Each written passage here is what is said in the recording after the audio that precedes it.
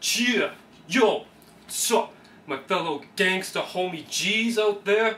This is your homeboy Pimpin' Make Awesome Cool, and I am going to show you how you can get swag just like me, except you won't be as cool as me because I'm the coolest swagger out there, so don't even try.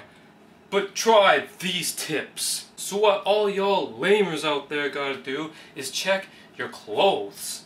Clothes is like the number one most important thing. Alright, you got that? Know what I'm saying? Make sure you buy a hat worth at least $30 and wear it either sideways or backwards, dog. You got that? People will know you're a rebel if you don't wear a hat the way it was intended to, you know what I'm saying? Screw the system.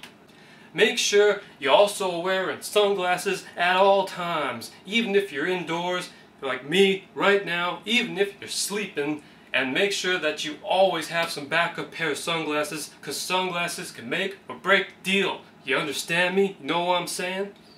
You just don't care about the rules and want to look awesome. Next thing you gotta do, homies, is wear some bling bling. Like this sink plug chain for wearing around my neck, man. It means that I can plug people in the mouth and shut them up if I want to, dog.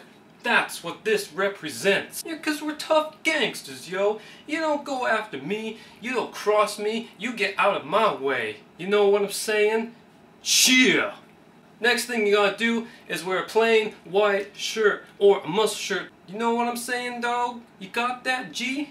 That's what it means. That's why you gotta wear the stuff that can tear. And also, as for pants, Man, gotta make them all baggy. The lower, the cooler. You got that? Know what I'm saying? Don't have them around your waist like you're supposed to. Have them down close to your knees as possible. That means you are cool, and that doesn't mean anything else. Alright, now that we got the attire down, this is where we get to the part about the language. Sure, the more cussing you do, the more swearing, which obviously means the more cooler you are, and you don't sound like a little pansy. That's what that means. However, I'm not going to be cursing in this video because could be little swaglets watching, uh, uh, parents. Uh. Shit! And when you talk, you gotta talk in shortcuts, man. Don't be going around pronouncing your R's like you're some English teacher or nothing. And don't go around pronouncing your INGs, man. Change your R's to as and your INGs to ins, alright? You got that? For example, I'm cooler than y'all. You know what I'm saying? Basically, just like that, and that makes me sound like I got lots of swag and I am the coolest person in the room right now. Actually, I'm the only person in that room, which technically makes me the coolest. Yeah! Mmm! And when people are going around hating on you just because you got more swag than them, you just have to come up with a good line to throw in their face. Like, who needs this education when you got swag? Or the simple yet extremely effective YOLO.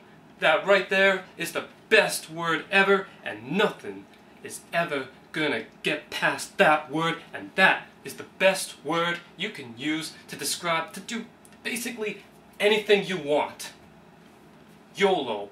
My final tip for all you soon-to-be fellow gangsta homies of mine out there is the way you walk.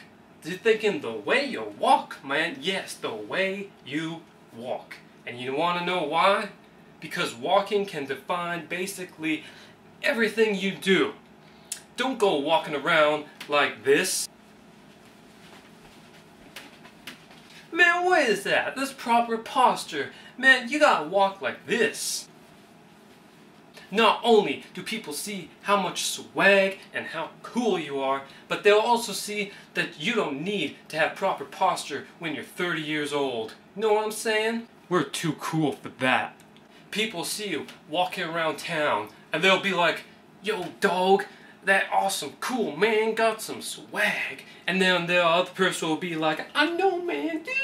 Right? That's exactly what they're gonna do when they see you walking. Nothing else. They're not gonna make fun of you. They're not gonna be doing any of that stuff. And if they do, they're just jealous, man. They're just jealous because they're not walking like that and you are for them. You're welcome. So let's review the three things I told y'all to do, alright? Number one, wear your clothing loosely and wear some bling and have your hat on backwards and make sure you're always wearing sunglasses indoors and when you're sleeping. Number two, don't use your proper deep grammar when you're talking to people. Don't pronounce your R's, don't pronounce your INGs, pronounce them as as and mm, you know what I'm saying? And finally, number three, walk like a G. Yeah!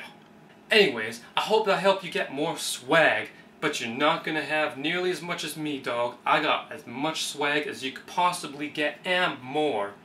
Because I am Pimpin' Mick Awesome Cool. That's my real name. That's not made up. Yeah, that's right. Everything I said was true, man. Every single thing I said is true. I get all the honeys. But, you know, I better go end this tutorial on swag because I gotta go to work, even though I shouldn't have to go to work because I got too much swag for work. You know what I'm saying? I shouldn't have to go to work. Ugh. Anyways, McDonald's inbound, I guess. Yeah. Swag is freaking stupid.